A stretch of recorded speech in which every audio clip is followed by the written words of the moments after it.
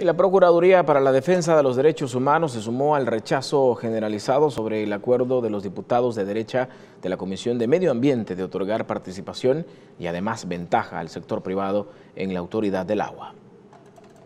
La institución estatal mandatada constitucionalmente para defender los derechos humanos se suma a las voces sociales que rechazan la decisión política de los partidos Arena, Gana, PDC y PCN de involucrar al sector privado dentro del ente rector del agua en El Salvador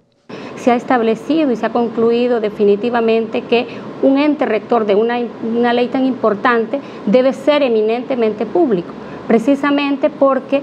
eh, debe garantizarse el acceso al agua a todos, debe garantizarse también la protección de los mantos acuíferos, debe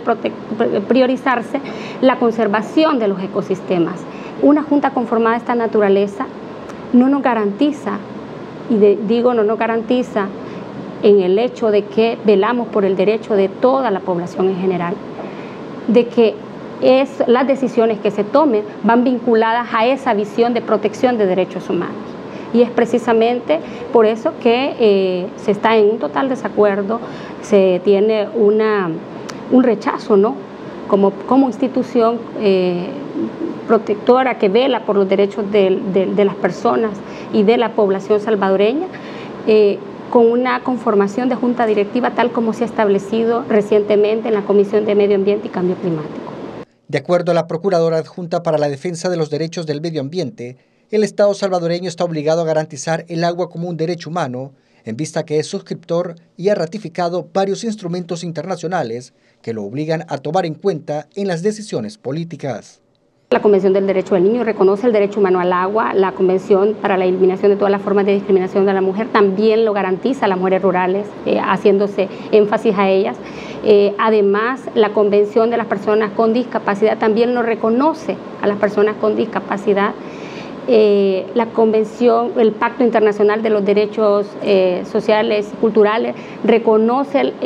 las condiciones de vida digna dentro de estas, también involucra eh, que el derecho al agua, el acceso al agua es fundamental para garantizar ese derecho a la población, al igual que el derecho a la salud. Desde ese punto de vista ya hay una opinión consultiva también de las Naciones Unidas en las cuales determina que estos derechos, la salud y el derecho a un nivel de vida adecuado, están muy cercanos al, derecho al acceso al agua. Por lo tanto, desde, ese, desde esos instrumentos internacionales que El Salvador ha ratificado, adoptado y que son leyes de nuestra República, eh,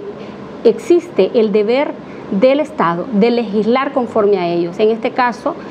precisamente una ley general de agua debe estar condicionada, debe estar enfocada en la realización de esos derechos que ya fueron reconocidos. La funcionaria informó que se notificará formal y legalmente a la Comisión de Medio Ambiente y Cambio Climático del Congreso su rechazo y exhortación a revertir el acuerdo tomado el lunes 18 de marzo sobre quienes integrarán la Autoridad del Agua, pues se debe garantizar que el ente sea público.